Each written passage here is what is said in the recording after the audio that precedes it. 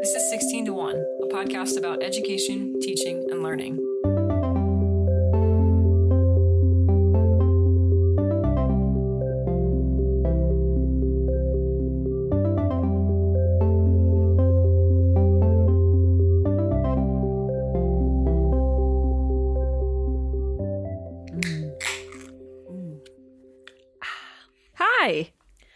We have 49 minutes to crank out this podcast.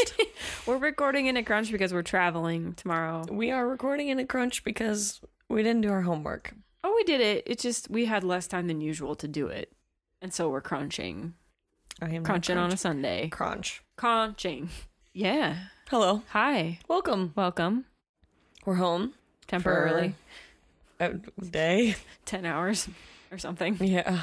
Um. We're waking up at 4 a.m. again to watch soccer. Maybe. No, I'm waking up. I'm doing it. Now it's I'm personal. committed. Now she's. I've I'm gonna, offended her. I really want to order an OL Reign shirt, t-shirt.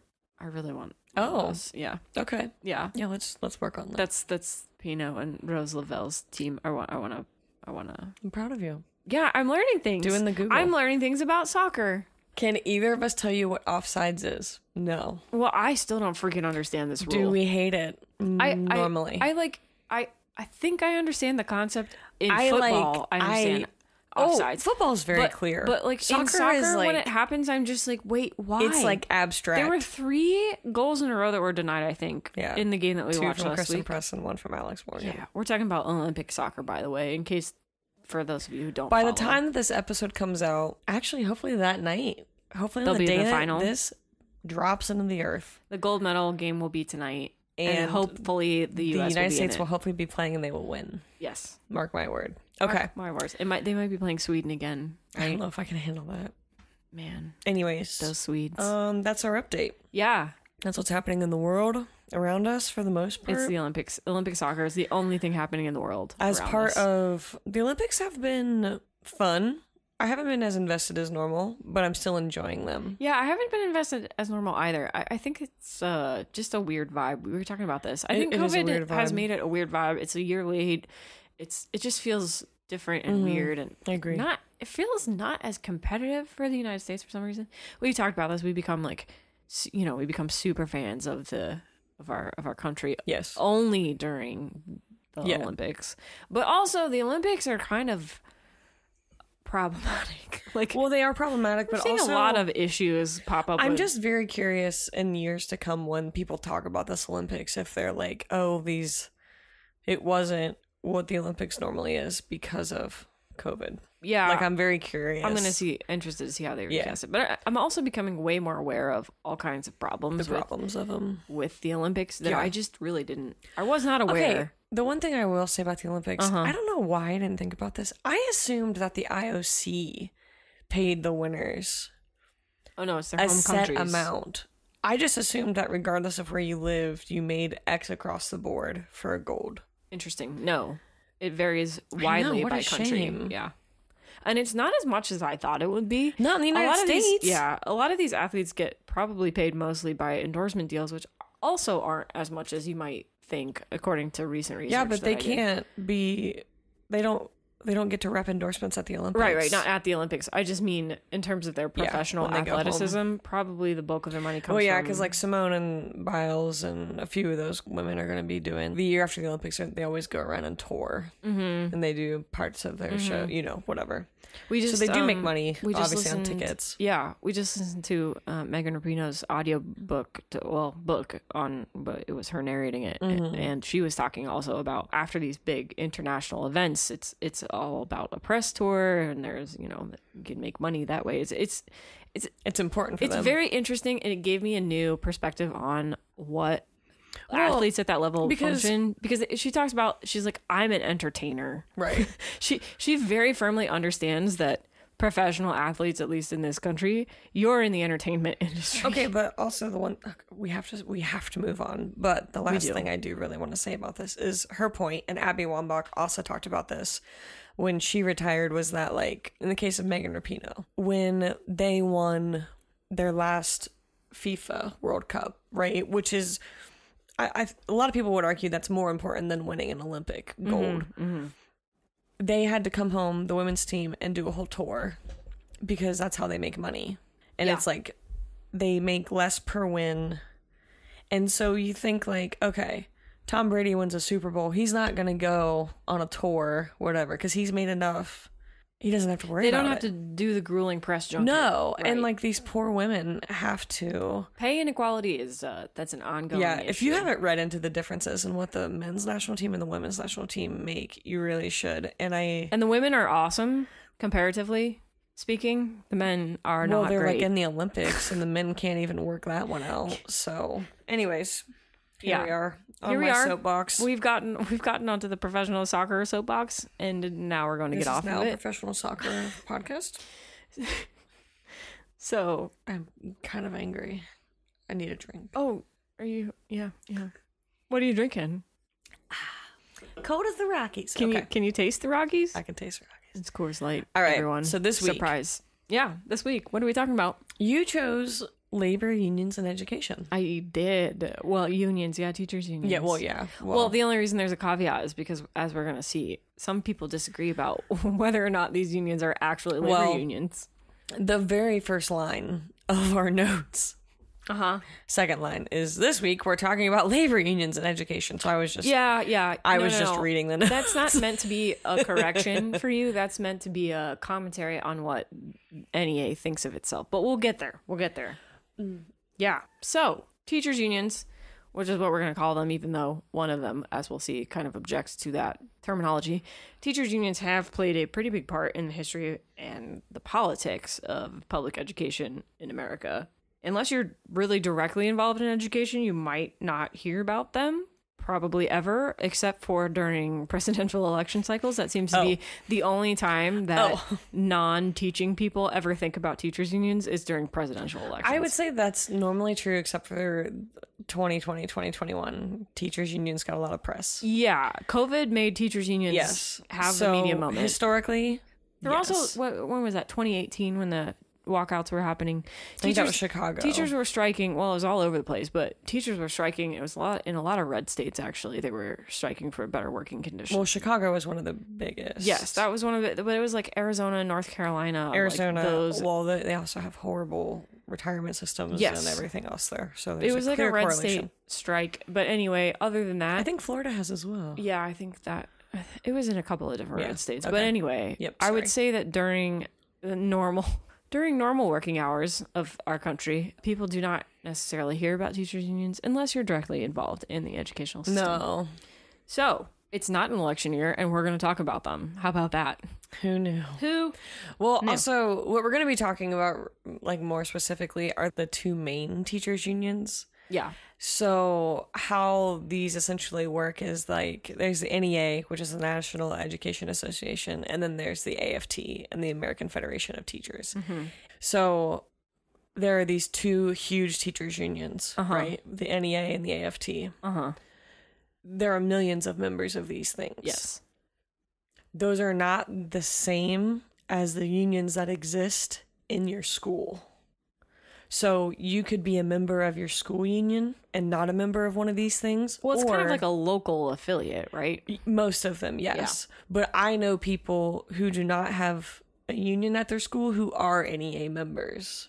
Does that yeah, make sense? You can be you can yes, okay, I see what you're saying. You can participate in the overarching entity So- known as the NEA without What I'm trying your to say school though being is unionized. us talking about these two unions is not a reflection of local unions at schools Y- because yeah. those are handled within themselves. your school may or may not elect to as a school participate in one of these unions, but you could individually play, pay dues. Is Right. that what you're saying? Yes. Yeah, yeah. But I'm just saying when we talk about these things as like big groups, I'm not talking about like Columbus Public's teachers union Right. Specifically right. because they have their own. They're they're basically kind of like chapters, I guess I would say, Sure. local local chapters of these Yeah. large unions, and and a school district may or may not be on the whole unionized, meaning Yes. everyone basically participates, kind of more or less whether or not you want to, like it's Right. that kind of thing. So you may or may That's not. what I was trying to say. Right, though, right, right. Is that these two things are huge, yeah, and when you talk like at the end when we'll talk about how teachers unions kind of started taking some flack during COVID, it was more specifically a, a actual districts union Mm-hmm. who was taking the heat, not. Does that Yeah. make sense? Right. So it's like a group within a group. Sure. Yep. Okay. Yeah. You want me to start? Yeah. Why don't you kick us off? Let's start with the NEA. The NEA. So the NEA is the largest labor union. It's the largest white collar rep in the United States, like group, and it also uh, represents public school teachers and other support personnel within schools. So faculty and staffers at colleges and universities, retired educators, college students preparing to become teachers. Interesting. So all of these people could choose to, people like maybe going into education but not Yep. there yet are also or part of this. people who've already left education, or yeah, So this, um, this is like the catch-all union.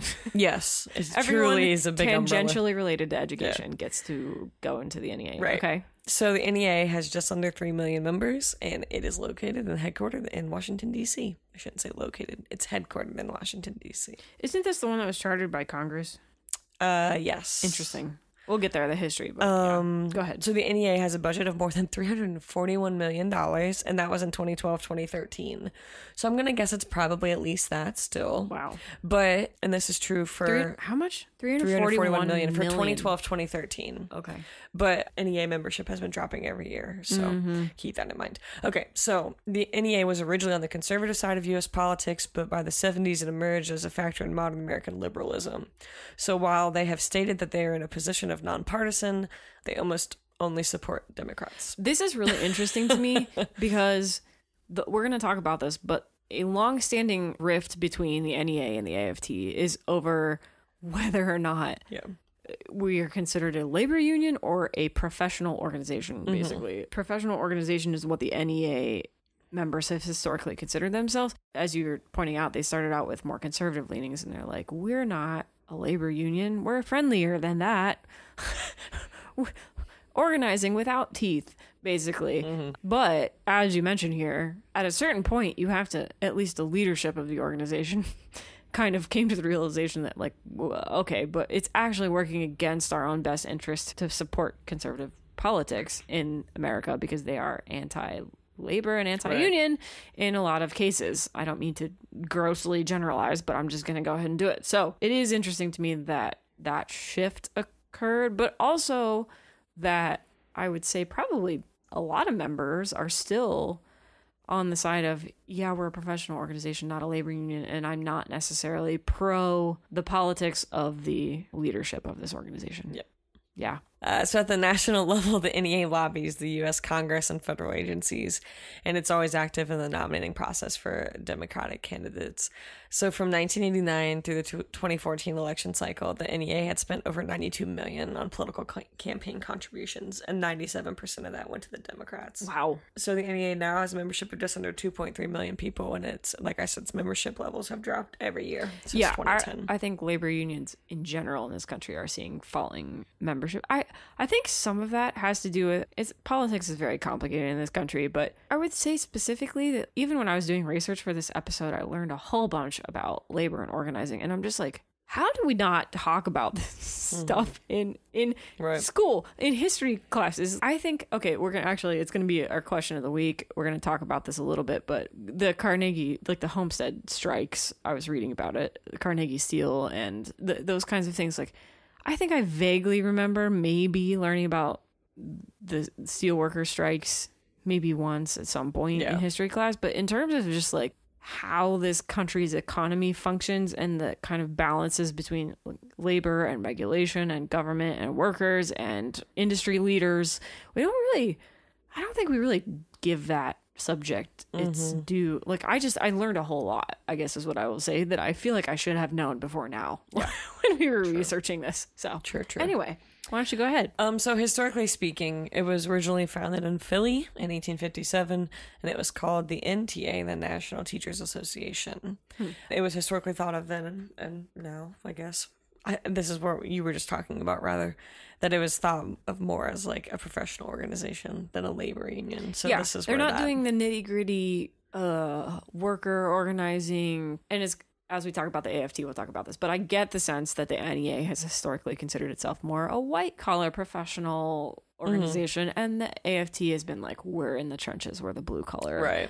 meat and potatoes of labor in schools in this country. Anyway, Right. yeah. hmm So the NTA became the NEA in 1870 when it merged with the American Normal School Association, the National Association of School Superintendents, and the Central College Association. And that was a union that was chartered by Congress in 1906, Hmm. which would never happen now. Yeah, that I put a note in there. I'm like, can you that. imagine No, Congress chartering a labor not. organization now? Uh, so the NEA officially merged with the American Teachers Association, the historically black Teachers Association, founded as the National Association of Teachers in Colored Schools in 1966. So we had a big group that was chartered by Congress in 1906, and then 60 years later, we saw them merge with the historically black group as well. Interesting. And so, just a few things that I found that the NEA has supported since their creation. They endorsed women's suffrage, they supported pension plans for teachers, they helped to get special funding for public schools near military bases during World War II. They helped lobby to pass the Civil Rights Act. Um, they lobbied for the passage of the Bilingual Education Act. They endorsed Jimmy Carter for president, who then created the Department of Ed in 1979. Um, they were not big fans of No Child Left Behind, and they lobbied for changes within Yeah. NCLB. I remember before the teacher strikes in 2018, that was the last major push that I remember actually hearing about teachers unions Yeah. in the news was for No Child Left Behind. Right. Yeah. And then just kind of historically speaking, they have, or at least as far back as I could research, and whenever they started talking about it, I suppose, they have been uh, pro LGBT and anti guns, which I want teachers' associations to be anti guns. I think after Columbine, it would be virtually of- impossible for a teachers union to be Yeah. Not outspoken about So, the issue of guns. Yeah. um, that's just kind of what the NEA has been doing uh, with their with their money as far as supporting causes and things like that. Mm-hmm. But they also like, and this is true for a lot of teachers unions as they were as they were starting.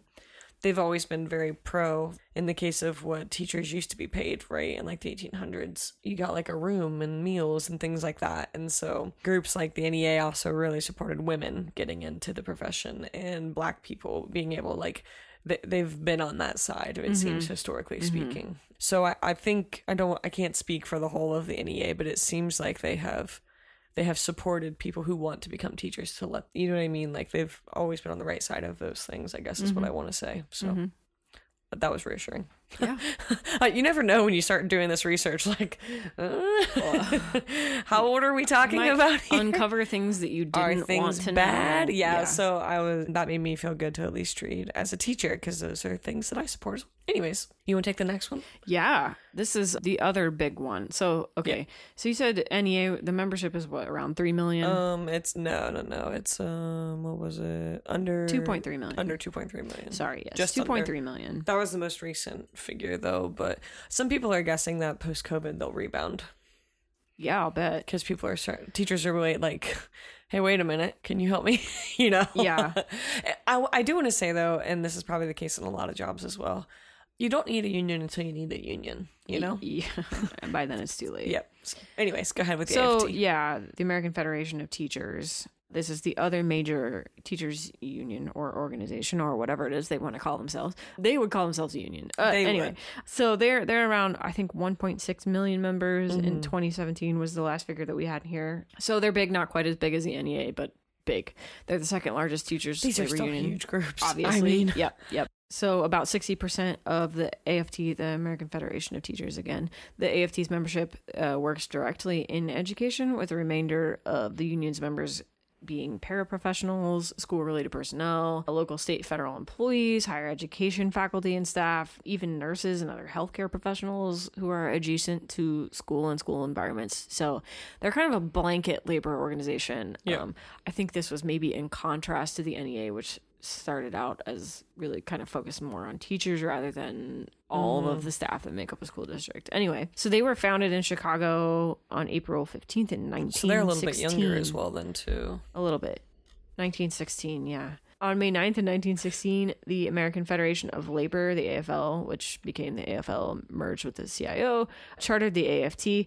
By 1919, the AFT had 100 local affiliates and a membership of approximately 11,000 teachers, which was at that time 1.5% of the nation's teaching force. In the early days, the AFT distinguished itself from the NEA, as we have mentioned, by its exclusion of school administrators from membership, which I think is fascinating. You and I were talking about this I before think the it's episode. fascinating. You were nice. You were like, you know what? Uh, I think administrators deserve representation too in terms of labor organization. I was like, yeah, Well- you're probably right about that. But also, if I were a teacher, Well, I wouldn't want my boss. Okay, but what I did say about that, hold on, those Yeah. are not the same things exactly. What I did say is that, do I think they deserve representation? Yes. Do I think at a local level, at a district level, should we have the same union? That's the problem for me. Is it? how, I don't think do- they should then. because often unfortunately it is the case that school administration and school teachers tend to be on opposite sides Well, of okay, certain issues What I just said supports that. yeah yeah yeah But my point is, is I think at this level, Uh-huh. if we're talking about a, a membership this size, yes, I think we should all be part of the. Like, I think the table should have everyone. yeah but the problem is like what if your whole district is represented by the aft and you have admins and teachers and they're both appealing to the same local leadership Well, okay. I, I don't mean to What what I have seen in schools Uh-huh. though is that previously I have seen the literal teachers, right? They are in their they they have their own set of the union, and then like janitors and things like that had a different group. Mm-hmm. So like they were sectioned off. so like staff might have their own people, yeah, admin that's might how I've have their seen own it. That people. doesn't mean that's how it is everywhere. Yeah, I, I But- just just to explain, my my issue would be with okay, let's say that you have a dispute arising from labor related conditions in a school. Often what will happen is unfortunately, for example, teachers will be pitted against the administration to resolve a particular issue. And my my thing was just like I- I I, can that. understand why you wouldn't want the same labor organization representing both sides of that particular debate. So I un- all I meant to say was that I understand why the AFT might have limited their membership to basically you can't be an admin. because it's just like the people you're supporting Yeah. fundamentally are going to be I just opposed I to don't one another on issues. if education gets better by pitting us against each other Yeah. the whole way up. yeah. That's my thing. For sure. I and I don't know how you could have an education association without the voice of all of the people Yeah. who make a school go. So Yeah. anyways. No, I totally understand that. That makes a lot of sense. I, I just think it's it would be very difficult to sort out some issues. That's all. In, insofar as it is one of these unions might represent everyone, I think it would be very difficult for these unions to internally deal with conflicts between uh, staff and administrators, teaching staff and administrators. like I, think that'd said. I, I have I have never seen in a school union where that has been the case. Yeah. Doesn't mean it can't be. Yeah. But I have not personally seen it. Yeah. Anyway, okay, so back to this. The AFT, they initially excluded school admins from membership and then eventually facing opposition from politicians and boards of education, they their membership declined to like about 7,000 in 1930 and this is for a lot of reasons, but anyway, the during this period that mean, the org didn't have very much impact on local or national education policy. So the membership climbed again during the Great Depression. It reached hmm. about 33,000 by 1939.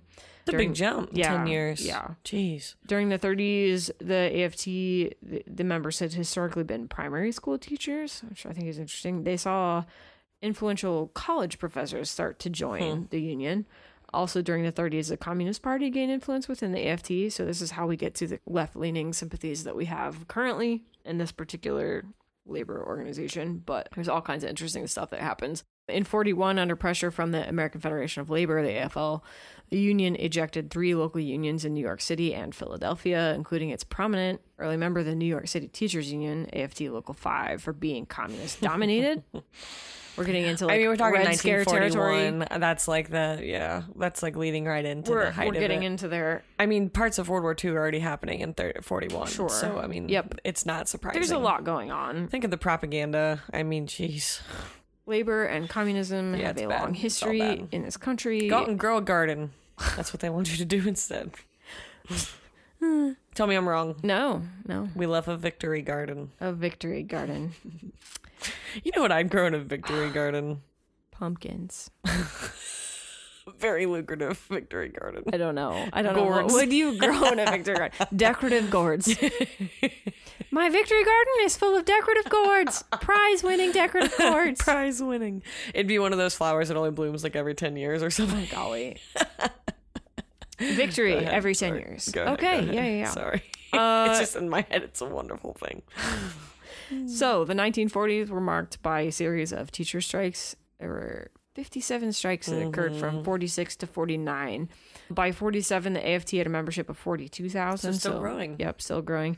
The 1960s and 70s also saw a bunch of teacher strikes. There were about a thousand of them, involving more than 823,000 teachers between 60 and 74. Oh my gosh, it grew in 30 years. It got a lot bigger. Almost Yeah. 800,000. a lot bigger. Wow. Uh, so AFT membership, well, they're they're not all union members, but th- these were participants in the strikes. Uh, so the AFT membership was Sorry, I fifty misread nine that. thousand. Yeah, yeah, it was fifty nine thousand in nineteen sixty, two hundred thousand in nineteen seventy, and five hundred fifty thousand in nineteen eighty. By 2017, the membership was around Hmm. 1.6 million. The union has a dues income of about 35 million. Yeah. So they don't have quite the money that the Not NEA has. quite. No, the NEA is bigger and more well funded for sure. Yeah. Since 1977, AFT has published a quarterly magazine for teachers covering various issues about children and education called American Educator. In 1998, the membership of NEA rejected a proposed merger with AFT. AFT's membership is significantly lower than the NEA's, mm-hmm. but they're both fairly large organizations. We'll So, talk about that too. yeah, this this About merger why they don't just combine. the merger proposal was a surprise flop, and it is very interesting. We've hinted at it already. So Yeah. anyway, We'll talk about it. yeah, though. yeah, yeah. So, want to talk about the politics of these? Yeah. So since 1980, the two of them combined, the AFT and the NEA, have contributed nearly 57.4 million to federal campaigns, an amount that's about 30% higher than any single corporation or other union. Um, that any single corporation thing is kind of mind that mind that blows my mind. Yeah. thirty percent higher than any single corporation. Yeah. So I mean, when you think of corporations like Apple and Alphabet, and like some of these enormous tech firms, and Not again, even these as much. figures might be a little bit out of date now, I guess, but Yeah. But when you think about that, that's just woof. They have incredible Mm-hmm. influence on politics in this country. So I was actually going to mention earlier when we were doing research for this. I searched for just history of teachers unions in the United States, and the first five pages of Google results were just all right-leaning think tanks bashing teachers unions. It was, very hard to find. so eye-opening. I'm like, okay, can I just find? I just want some facts about the history of these entities. Like, can we do that without Right. getting a smear campaign article popping up? But apparently, we cannot. It We was cannot. very fascinating. Google is overwhelmed. It was really interesting. Um, okay, so about of Yeah. those two, about ninety five percent of political donations from teachers unions, that includes the NEA and the AFT, have gone to Democrats. That's why I got all of the Cato Institute articles on my Google Right. results because Uh, they've donated so much to Democrats. Okay. So in 2008, for example, the AFT provided a campaign contribution of over 1.7 million to Hillary Clinton and just under 2 million to Barack Obama. So Wow. We're looking at almost what 4 million dollars alone just to those two. Uh, and then in, in July of 2015, this is kind of where things got interesting, I guess, politically for them. They the AFT endorsed Hillary Clinton in the 2016 presidential election. yeah, that actually did surprise For the race. me a bit. And it's a lot of people guess it's because uh, Clinton and the AFT president Randi Weingarten had been longtime friends, but AFT's official endorsement of Clinton caused controversy among a lot of their members, and it's because many of them actually wanted to be endorsing Bernie Sanders. Yeah, that's not surprising. Given No. the AFT's history, Bernie Sanders is like their candidate their- more their for speed. Sure. I don't think I was super aware of this at the time, but I'm vaguely recalling this now, and I, I, I remember hearing about how unhappy some of the AFT membership was because again, AFT historically more like very much uh, traditional labor union values and politics, very Yeah. much like the working man's organization kind of thing, and the fact that, that yeah, I guess I would just say Hillary Clinton would be way too milk toast for the rank and file AFT as I understand it. Yeah. I would say. Yep. Yep. Um, okay, so as I was doing this research, a lot of it talked about and referenced what Chelsea mentioned earlier, which is why these two don't combine Mm-hmm. into a super union, essentially. It would feel Um, like it would make so much sense for them to do this, especially with how little public education is supported Yeah. by the government of this country. Okay, so these two, uh, they still talk about these two combining. No Yeah. one has given up on this. still, So the last real there's push still hope. there is was in 1998, and NEA really thought it was going to happen until it went to their own representative assembly. And so they would have had to have had a two thirds majority vote for that merger of NEA and AFT to take place. And they met in July of 1998, and their officers and staff and most of the press were convinced it would happen. Newspapers couldn't believe it. And they were stunned when the result was announced, and only 42% of the delegates that um, had voted, or I'm sorry, they had only 42% of the delegates' approval and they needed like 60% i think is what i said something like that. Two-thirds majority. So um and i think that there was like 10000 voters something like that. So pretty big margin of them. And so one of the major sticking points for those delegates was that the merged union would have been affiliated with the AFL-CIO, which was against the wishes of many of the teachers. They are the ones who prefer to think of themselves, the NEA, as a professional association and not a labor union. Yeah, so the AFL-CIO being like basically a kind of organization of unions, labor Right. unions. So it very much would have, in a concrete way, affiliated them with a labor organizing movement, kind of. Mm-hmm. And as we've mentioned, the NEA, some of the membership, a lot of the membership, apparently not comfortable with that. They No. were like, "No, no, we're a professional organization."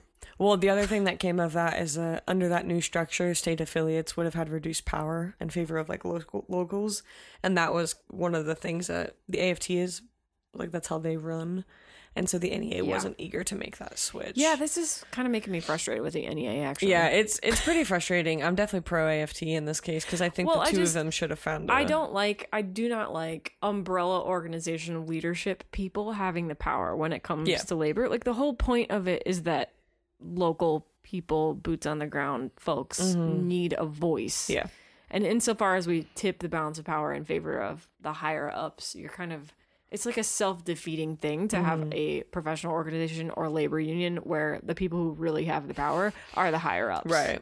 Yeah, it's and completely th- that that kind of situation is what leads to a lot of corruption and a lot of pushback Mm-hmm. against unions. So, like again, th- there's plenty of criticism that you could level at teachers unions because of stuff like that that happens where a few people get a lot of power and then things start to go downhill. So, like that does happen. but- So part of what I read though is is on both sides of if they should, if they shouldn't. You know what I Mm-hmm, mean? Like, I, and there are obviously people on both sides because it wouldn't have ended up this way. sure. Um, a lot of people still think that it should be considered, uh, based on what I've read. There's no bad blood between the AFT and the NEA. They they they're amicable groups. you Yeah, know I've I heard everyone's like not really sure why they haven't combined because everyone seems to get along. No, they fine. do. They don't argue like they don't fight for No, they're not like pol- yeah, like politically even. They're yeah, yeah, they're very politically pro now. each other. in terms like- of like the national political scene. They're very much aligned because they Yeah. both give money to more or less. And like I said, everything I read, literally everyone's like they're buddies. Yeah. Like,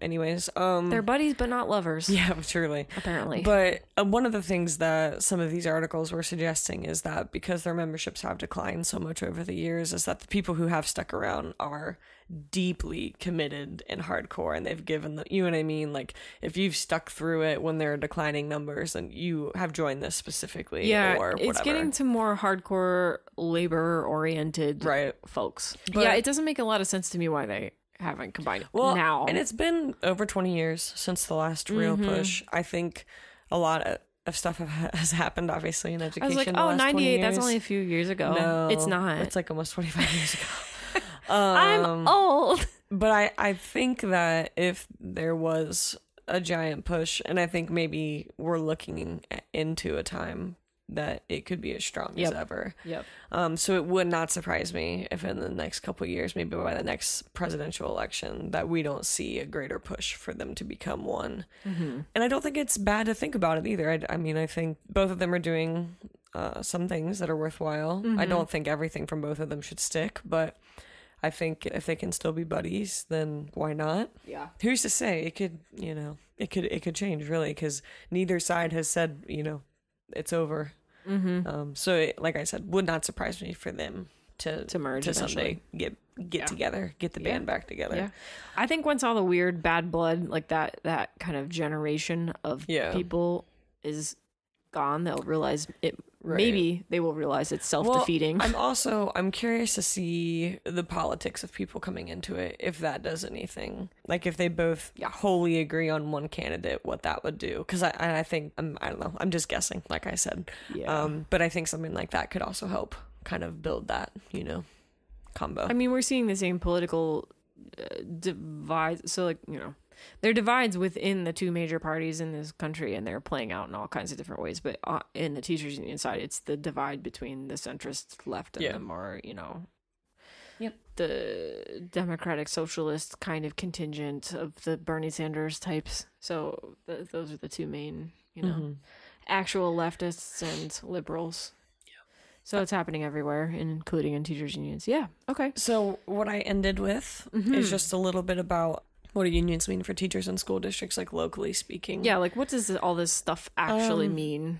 On my list, it starts with pros and cons for both. Really, you know, that's how I feel. Yeah. Yeah. Um. mhm. So, what can unions do for teachers? They can help limit class size. They can help secure money. They can help limit the things that teachers are voluntold to do. voluntold. I love that word. Um, I mean, that happens so much in education. right. Great, you're volunteering, right? This is you volunteering. You you specifically are going to show up and do this thing as a volunteer, right? um, they can hold administrators to do what they agreed to do. And so, I, I mean, as a teacher, I'm going to have a hard time talking anti union here, but it's only because a lot of people who criticize unions just to say that they protect the wrong people. And that can happen. Unions can do that. It's not just teachers' unions that do that, though. For sure. A lot of people argue it helps keep bad teachers. Did they? Yes. Do they? Yes.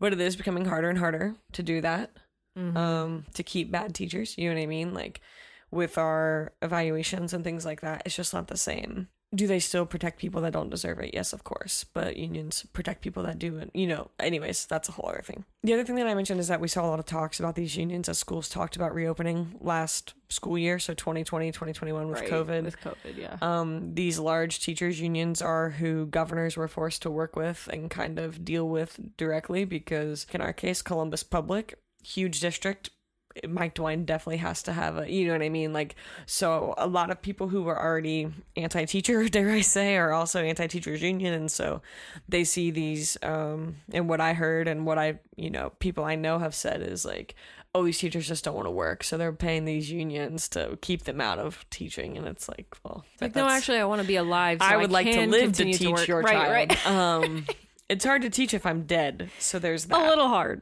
A little hard. who knew but I did. Oh, just want to throw in real quick. Like legal representation is another thing that unions do that's pretty Yes, important. it's very important. and it definitely did start to come up during COVID. We saw some spikes in that, uh, the need for legal representation. Yeah. And I mean, here in Ohio, one of the big things when they rolled out the vaccination plan was as far as figuring out who got it when. And Governor DeWine's thing was basically teachers will be vaccinated by this date. And these big schools will Yeah. be back to, you know, and it was almost on par with ho- healthcare workers, which to DeWine's credit, I, I well, I think he's screwed up a lot of things about COVID, but I do think that one of the things that he did do was allow vaccinations to happen for educators sooner than, well, right. later. But he also used it as a way to dangle over their head that they had to be back in person. this is true. That's the problem. This is true. Do I love that he got me mine? I'm so thankful. Way to go, Mike or Fran, whoever did it that day. But um, I don't know. It's just it's hard because the political strings of that were truly, if we give it to teachers by this date, then they must return by this date, mm-hmm. and that's what he was doing. Mm-hmm. Did he want us to be vaccinated? Probably. He seems kind of pro teacher most days. I don't know about that. I, I, don't said most so. days.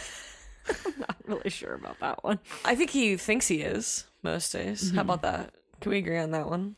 That he thinks he is pro Yeah. sure. But no, Dangerous. my whole point about the vaccination rollout in Ohio was that it DeWine worked with these very, very large districts, their unions, right? These huge schools, um, as a way to say, we will get you this vaccine, but you must return Yeah. by this date. Yeah. Um, so that's and that was in the news, you know. And uh, if you, especially in Ohio, if you were watching the news for the past year, um, there was a lot of talks about the unions, not only here but the unions all over, that were keeping kids out of school. And it's like, well, was it literally keeping kids out of school? Yes, but was it saving teachers' lives? Probably. Mm-hmm. And so that's hard. I mean, and I- so I, I, think, history will be will be on the side of teachers unions in this case because we I do saw, we saw a lot of industries like restaurant workers, like cooks, waiters. Th- th- those kinds of workers had the highest percentages of, yeah, death Co- yes. from COVID.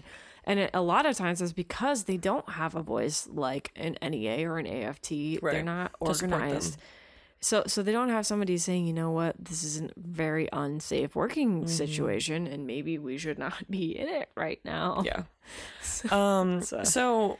My last little bit was basically the question of what doesn't give teachers bad press. You know what I mean? Like, yeah. At the end of the day, they're we're one of the most heavily scrutinized.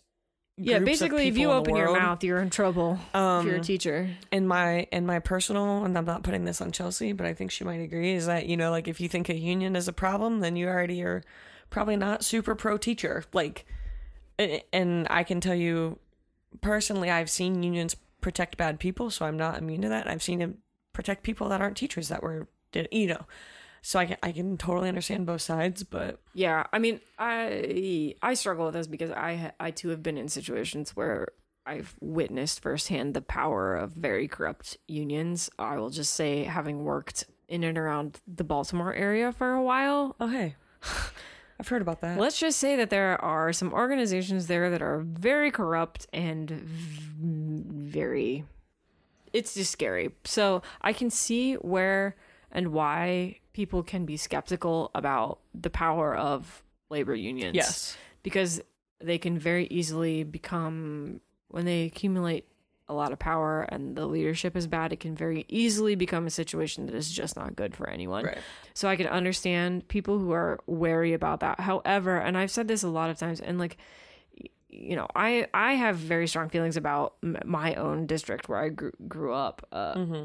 I, because they're not i've had conversations with teachers there about organizing because they have not as a district ta taken on you know an, a teachers union. And i understand why there's hesitancy there because of the politics of it. The politics of it is nearly inescapable. And for a lot of these people it's a big problem because we're in a rural area. It's a very red you know part of the country. It's fine whatever. I get that but i just i also see these same teachers who object to the presence of a teachers union be exploited over and over again by bad leadership at the district level.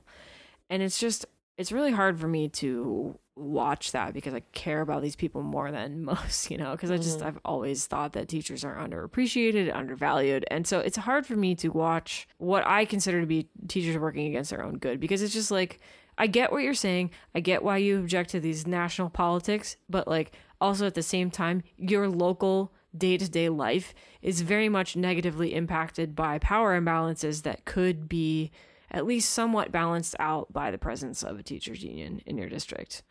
And so it's just, yeah.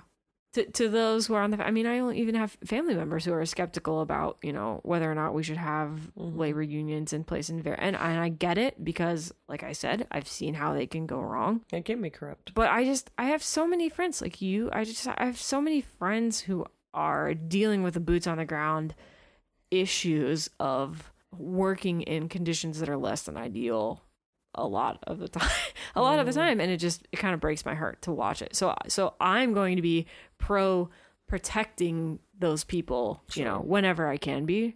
So it's hard to it's hard to watch it happen and to feel like there's no recourse. But Yeah. it's a very interesting and very nuanced and very complicated political problem. So sure is. yeah. Uh, yeah, there is not uh, one answer. They they are good and bad. There is no in between. Yeah. You know, Yeah. they can be both. They occupy both spaces. So. yeah yep um. like everything yeah. painted in many many shades of gray okay. Yeah.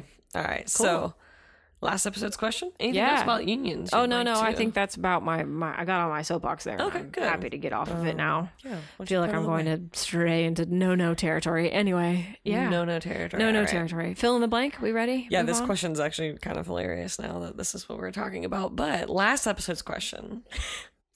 As of March 2020, what percentage of teachers leave their professions within the professions leave their profession within the first five years?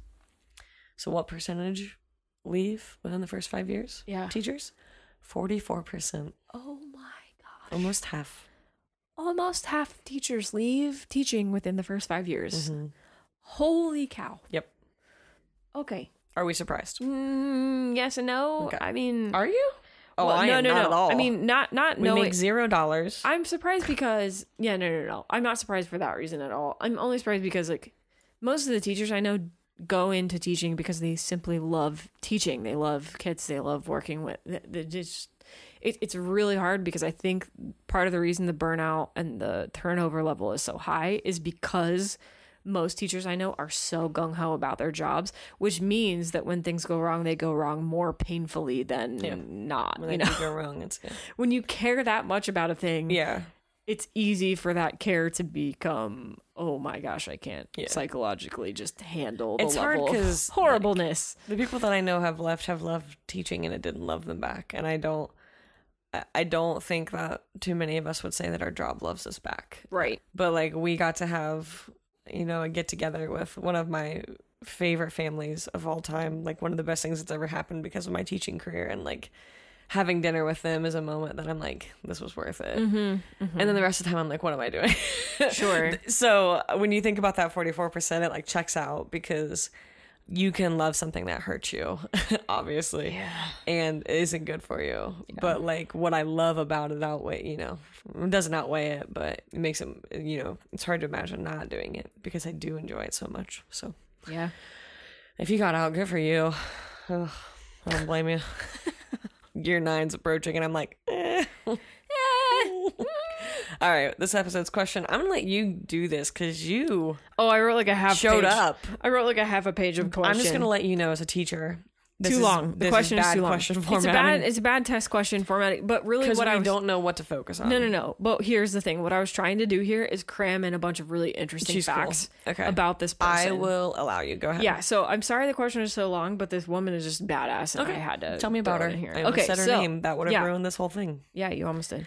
okay, so this woman, again, we're looking for the name of the woman. This keep that in mind. We want to know who she Who is describing. this lady? What Yeah. is her name? Okay, this woman was appointed U.S. Secretary of Labor and was the first woman to be appointed to the U.S. cabinet. cool. After teaching science for several years, she moved to New York to study at Columbia University, where she earned a master's degree in economics and sociology in 1910. Hmm. Go Blue Lions.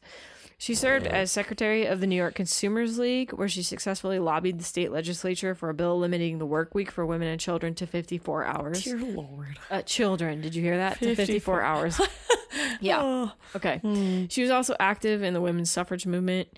She witnessed 146 workers, most of them young women, die in the Triangle Shirtwaist Fire, which was horrible. Go look it up. Oh. She consistently supported the rights of workers to organize unions of their own choosing, uh, unions of their own choosing, and to pressure employers through economic action. In one famous incident, this is just so cool. I just threw this in here because it's so cool. It was captured in a widely circulated newspaper photo. She strides toward the U.S. Post Office in Homestead, Pennsylvania, with thousands of steel workers behind Okay, her. this woman is awesome. yes, Is there a movie about her? I hope so. De- denied a meeting hall by the mayor and steel executives, she found an alternative site where she could inform the workers directly of their collective bargaining rights. Okay, Overall, cool. just a badass lady. so who was, was that woman? Yeah. She was just like, I like her. everywhere though. She was everywhere during this time period. Everywhere there's anything having to do with like women's rights, cool. suffrage, labor organizing, she's in it. Showed up. I, had like her. Never heard of this woman before, and I was like, "Holy cow! I need to know." this is what more. we should be doing. So anyway, right, what's her name? What's I her like name? her. That was a long-winded way of asking what is her name. So who was essentially the First woman first to be woman appointed to be appointed to a U.S. cabinet? Yeah. to the U.S. to the cabinet. U.S. cabinet. Cool. Yep. Nice job. Yeah. I'm excited. All right, you want to tell me what you learned? Oh, sure. Yeah, I learned how to make audiograms for the pod. I'm glad that you did this. My my Instagram feed thanks you. Well, here's the thing: we used to make them, and I made them manually with After Effects, which was a rather labor-intensive process because it, it was just a whole thing. We had like a custom template that I Yeah. made that blah blah blah, but we had to go and like.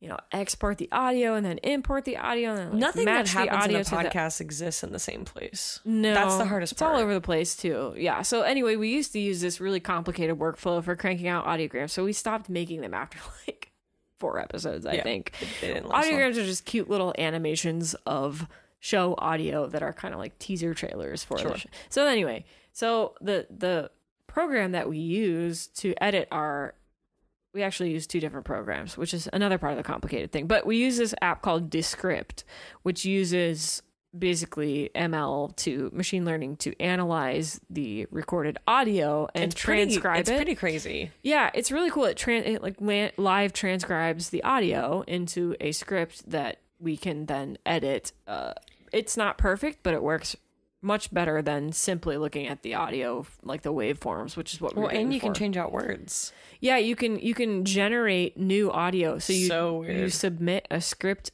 Like I read, you know, five pages worth of stuff. I submitted that me the audio of me reading to th- this app, and then they analyze it. And now, if there was something that we screwed up or we misquoted or whatever, So you have to bleep me out for saying what the. or if we had to bleep out a large portion of audio, something like that. Anyway, the, the script would allow us to generate new audio from typed words, which we haven't used yet, but would be cool in case we can't believe you needed don't use that for me. no, no, You could use that. it's not necessary. Anyway, they released When you stop feature. asking me to record with you, I'm gonna know what's happening. It's, I'm just gonna auto generate your voice. Yeah. Uh, anyway, they released a new feature somewhat recently that allows you to generate audiograms from. So you just select. Again, it, it's a generated script. You just select the words that you want to turn into the audiogram, and you export it, and then it auto generates this cute little audiogram. So you're probably going to be seeing Cute. those on our on our feed. I'm excited point, for our these. social feeds. That'd yeah. nice. What'd you learn? I saw a tweet that said that crows understand the concept of zero. Crows, like the birds, Yep. they understand the mathematical the concept raven. of zero. Nevermore. Yep. Uh, yeah, but not but not that. Did It's a different bird. Yeah. Whoa. Really? Crows and ravens are different? Y- yeah, yeah, they are. Oh, I thought they were the same thing. No, they're not the same thing. They're just big, ugly black birds in my head. They are both big, ugly blackbirds. yes. Anyways, well, that's also something I learned. um, okay, so the tweet was just about how crows understand the concept of zero and everything on Twitter. Everyone on Twitter was like, "What do I do with this information?" Hmm. Which I sort of agree with. Like, I don't need to know that crows are that much smarter than I am. You know. Um, Yeah. Also, the last thing I want to plug, just as like a little feel good at the end of this episode, we recently watched and finished immediately Ted Lasso, which is a show. On, Oh, we have a new episode to watch, by the way. on Apple a new TV. one came out. Yeah, yeah. Mhm. What comes out weekly now? Um, so we watched season one. Um, it's about soccer. it's about soccer, but in a way that you need to know nothing about soccer. Oh yeah, you don't have to know. He doesn't know anything about soccer. Well, yeah, so don't you do don't much. to Don't know. do too much. But Okay. yes, Yeah. um, Jason Sudeikis Uh huh. is that him? Uh huh. Is he the one that was married to Amy Poehler? No, that's the Lego Man. Yeah, that's Will Arnett. Will Arnett. Okay, anyways. Ted Lasso. We watched Ted Lasso. It's an adorable show on um, Apple TV. Jason Sudeikis is great. It's got a great cast. And it was just like, again, we're, we're all still trying to find some peace and happiness in the world because things are still not, you know, as easy Not as a they could hundo. be. But Ted Lasso is a beautiful, bright spot. It's Um, just super cute and feel it- good. It's just fun. Like, he's the uh, part of the premise of the story is that he's he's just an undefeatable optimist. Right. He's extremely optimistic. And normally I find those people horrible. but I love him. It's so cute. my cynical, pessimistic co-host here is like, I Okay. hate no, no, no. people. I like people who can see like on the bright side, but his is like almost. Anyways, I, anyway, it's just it was a great show. We really liked it. It's really very fun, very fun, very wholesome, Um, wholesome. and I would just recommend it as like a nice, you know what I mean, like just a feel good show, which Mm-hmm. we all still need. Chelsea and I go back and forth between like the severity of the TV we're watching, Yeah. and so we were looking TV for something a Apple little TV bit is lighter. winning me over. I didn't think I would ever be a pro Apple product, but Yeah. Apple TV, the shows that they are producing, I feel You're the not same pro way Apple about product. not in general. What are you reading off of? Uh, What A do you work tablet. on all day? that's not by choice exactly, but anyway. What's it like up there?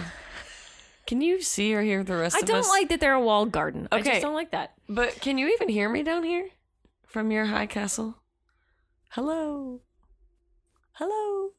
I didn't expect myself to be pro Apple in any regard, but I was. I've been pleasantly surprised by the Everything quality. we've watched on Apple TV has Yeah. been a banger. Apple truly. TV has been great. Uh, for all mankind, we mentioned that a couple episodes ago. Extraordinary. and then we TV. immediately after Ted Lasso because we had to become immediately depressed again. We started the morning show, the morning show. which is Jennifer Aniston, and Reese Witherspoon, who are two of my favorite actresses. And I again, I won't give very much away either, but um, And what's his face? Um, Steve Carell, yeah, Steve Carell. great show, very heavy. So there are some trigger warnings also, but I just don't want to ruin It's it. basically Matt Lauer fictionalized. Yeah. yeah, yeah. But it's very well written. So, anyways, Apple TV for the win. Ted Lasso, big W. Oh, just yeah. so fun. Um, so if you're looking for something just to enjoy that's not super heavy, can I recommend a podcast? Mm-hmm. Can we do that here?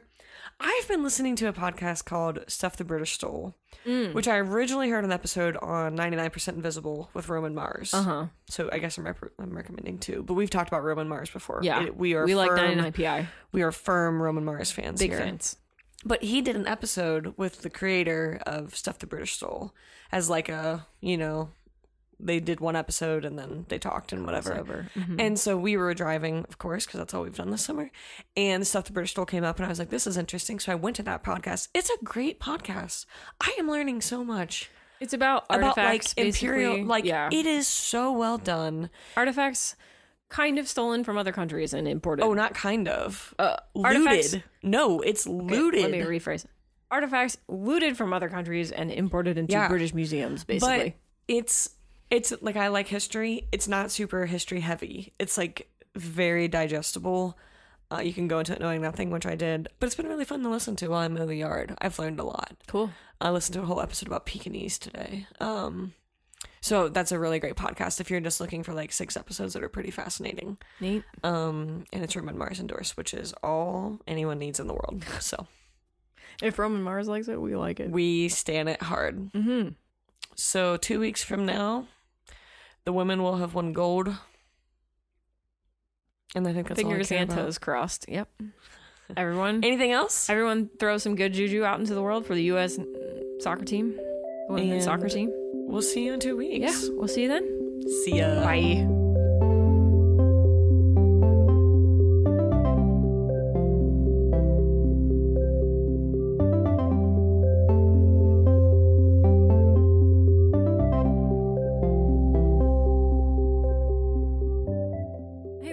Thanks for supporting 16 to 1. We're trying to grow our audience, so please check us out at 16to1.com, all spelled out, and tell your friends about the show. On our website, you can find links to follow us on social media, an archive of all our old episodes, and a contact form where you can get in touch. Thanks again for listening, and we'll catch you next show.